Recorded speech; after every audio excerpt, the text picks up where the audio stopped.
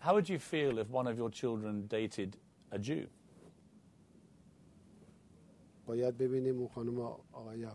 I would have to see who that Jewish man or woman would be. I see love amongst people as completely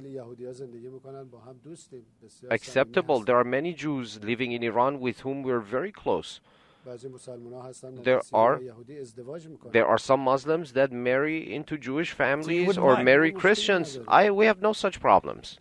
See, people will be surprised. People, people will be surprised you say that, Mr. President. They will like you for saying that. Of course,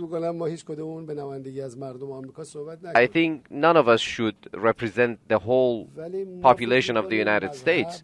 Uh, but we believe that color, religion, native tongue, ethnic background should create differences or distances between people, nor should it be the sole reason to bring people closer together. It has always been like this.